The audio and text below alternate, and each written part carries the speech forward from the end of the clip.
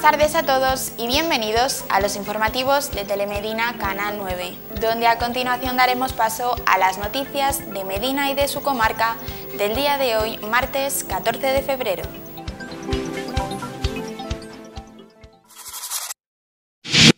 Servitrama Transportes te ofrece esta sección.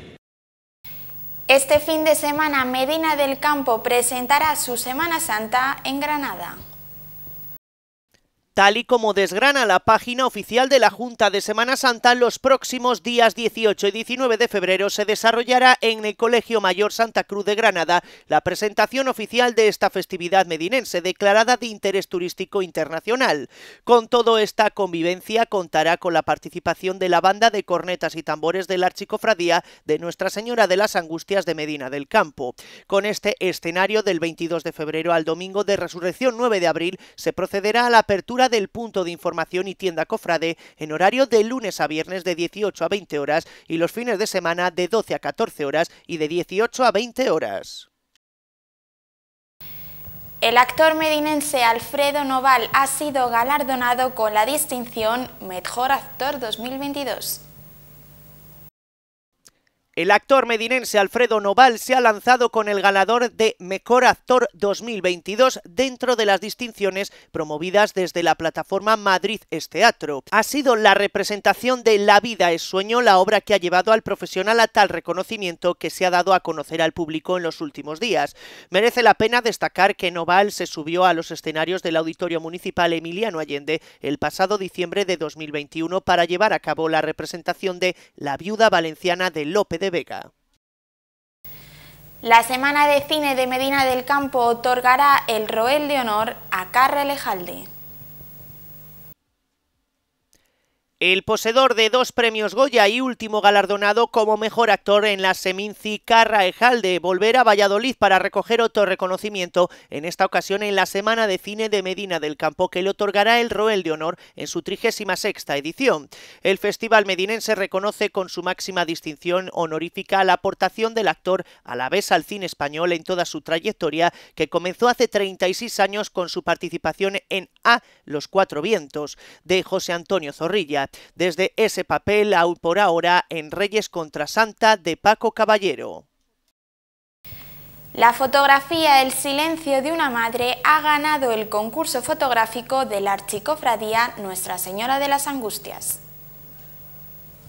El cuarto concurso de fotografía de la Archicofradía de Nuestra Señora de las Angustias ya tiene ganadores, tal y como ha informado el jurado calificador de la misma el primer premio para el cartel anunciador de la Archicofradía en el año 2023 a la muestra presentada bajo el título Silencio de una madre del autor Eduardo Martín Campos. El segundo premio para la portada de la tercera edición de Quinta Angustia a la fotografía presentada bajo el título En su mayor dolor del autor José Antonio Esteban Olmedo. Este fin de semana el pabellón Pablo Cáceres reunió las mejores palas del badminton. El pabellón Pablo Cáceres de Medina del Campo ha acogido los días 11 y 12 de febrero una nueva prueba deportiva. Se trata del torneo de badminton TTR que reunió las mejores raquetas de la comunidad, un evento organizado por la Federación de Badminton de Castilla y León en colaboración con el Ayuntamiento de la Villa en el que han participado 68 jugadores. El sábado tuvo lugar la prueba TTR sub 13 y sub 17. El día siguiente fue el turno de la categoría absoluta y senior. Los encuentros eran puntuables para el ranking nacional N7. Las instalaciones de Pistacil en el Carpio acogieron el último y el octavo encuentro del campo a la industria. El presidente de la Diputación de Valladolid, Conrado Iscar, y el presidente del Grupo Pista Castilla y León, Alfredo Pérez Eraz, han abierto el último encuentro del campo a la industria que desde el pasado mes de julio ha unido a agricultores y ganaderos de la provincia de Valladolid con la industria transformadora. En este contexto se ha celebrado el octavo encuentro en las instalaciones de Pista Castilla y León ubicadas en el municipio del Carpio, donde han conocido en profundidad el trabajo de esta empresa familiar ligada a la agricultura y supuesta por un cultivo alternativo como el pistacho, así como otras cuestiones relacionadas con los cultivos leñosos. Durante la visita, Alfredo Pérez ha anunciado que tiene previsto iniciar a lo largo de este año el proyecto para la reconstrucción de unas modernas instalaciones en la localidad de Pozal de Gallinas. Los versos de los quintos protagonizarán el Domingo Gordo de Castronuño. Este fin de semana Castro Nuño vivirá uno de los días más mágicos, alegres y emotivos llevado a cabo una tradición ancestral.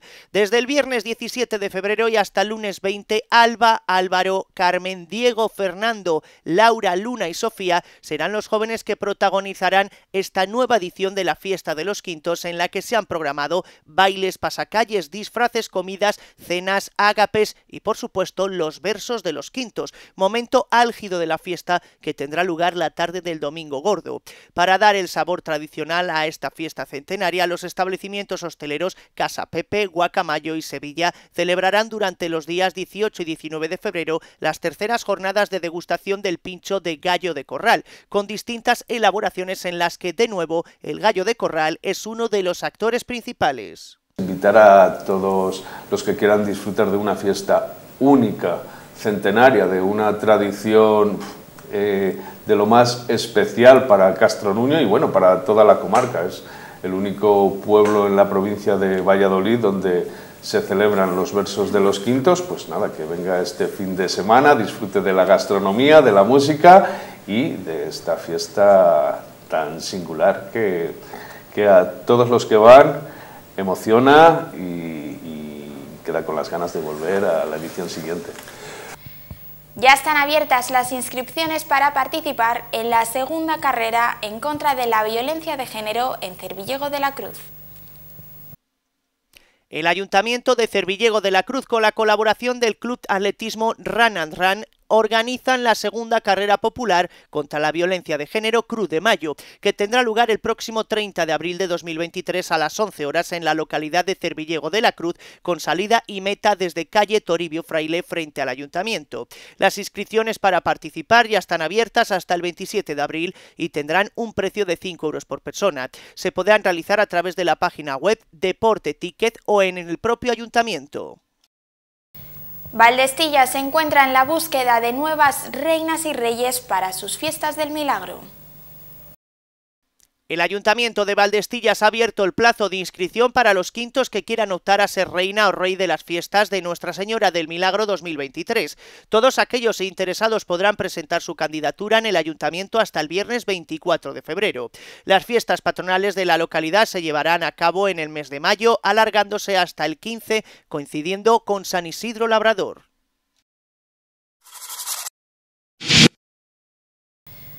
Ayer el Ayuntamiento de Valladolid hizo entrega de los premios Ciudad Deportiva de Valladolid 2022. Un año más ha tenido lugar la entrega de premios Valladolid Ciudad Deportiva, una iniciativa que cuenta con una larga trayectoria en el reconocimiento y promoción del deporte vallisoletano. Un acto que se ha celebrado en la Casa Consistorial presidido por el alcalde Óscar Puente junto al concejal de Participación Ciudadana y Deportes Alberto Bustos. Además, como es costumbre, se ha procedido a la entrega del premio José Luis Morencia que concede la Asociación de la Prensa Deportiva de Valladolid. Puente ha recordado a la joven ciclista vallisoletana Estela Domínguez y ha confesado sentirse aún sobrecogido, al igual que todos los presentes, por la trágica noticia de su muerte. Y la capital celebrará el carnaval con más de 60 actividades para todos los públicos y en todos los barrios de la ciudad. Concursos de disfraces, pasacalles, batucadas, bailes, espectáculos de circo, talleres para niños, actividades para jóvenes y fiestas de carnaval en el centro y en los barrios son algunas de las propuestas con las que Valladolid recibirá estos días a Don Carnaval. El tradicional Carnaval de los Coles dará el pistoletazo de salida al programa el viernes por la mañana con un colorido desfile que reunirá a los escolares de la ciudad en la Plaza Mayor. Ya por la tarde un pasacalles tomará las calles del entorno de la Plaza del Antigua y de la Catedral. Habrá también propuestas de animación musical y batucadas repartidas por distintos centros cívicos y colegios públicos y en la zona de la Plaza del Poniente, la Plaza de San Benito y el Mercado del Val, donde los ritmos brasileños sonarán desde las 20-30 horas. El tradicional concurso de disfraces infantil tendrá lugar un año más en la cúpula del milenio.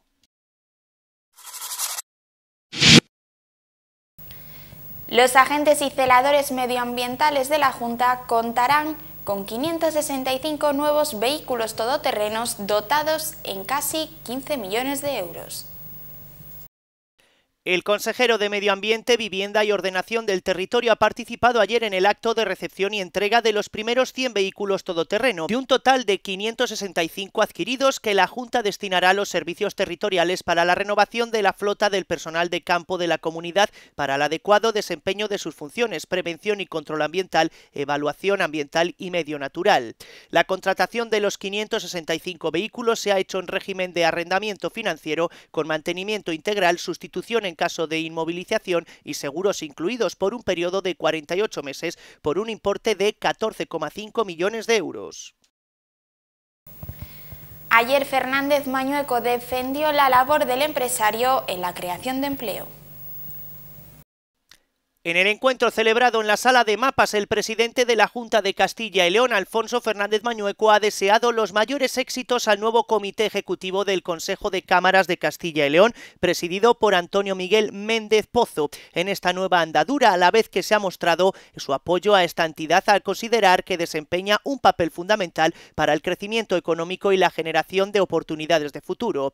El presidente autonómico ha realizado una doble defensa del sector público y del privado por otro lado, ha ensalzado la figura del empresario frente a los que le atacan. Ha defendido el trabajo de la empresa, de los empresarios y de los trabajadores para la creación de empleo y para situar a la comunidad como líder en diferentes sectores económicos como la automoción, el farmacéutico o el agroindustrial.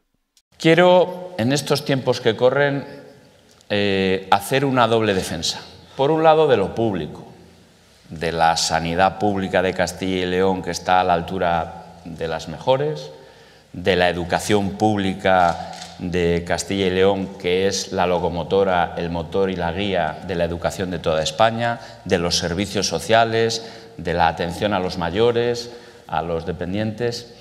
Pero me vais a permitir que, especialmente ahora también, haga un reconocimiento de la labor del sector privado y sobre todo de los empresarios, vosotros estáis aquí representando a tantos y tan buenos empresarios.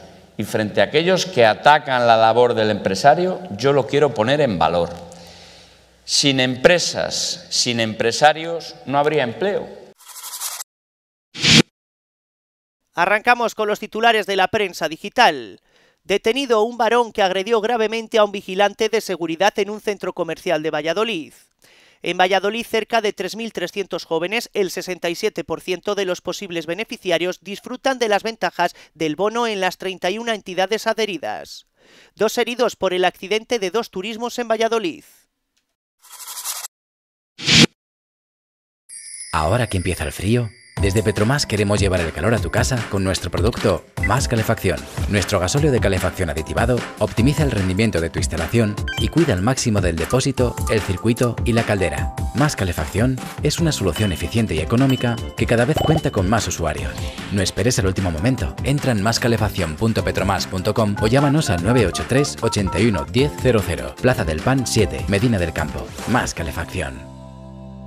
El tiempo en Medina del Campo en la jornada de hoy hemos tenido 12 grados de temperatura máxima y 4 de mínima. Los cielos han estado parcialmente cubiertos con probabilidades de precipitación del 30%. En la jornada de mañana, miércoles 15 de febrero, tendremos 13 grados de máxima, 3 de mínima y los cielos estarán con intervalos nubosos con probabilidades de precipitación del 10-20%. Para la jornada del jueves subirá un poquito esas temperaturas hasta los 14 grados, pero las mínimas bajan hasta los 0 grados. Tendremos los cielos despejados en Medina del Campo con 0% de probabilidad de lluvia.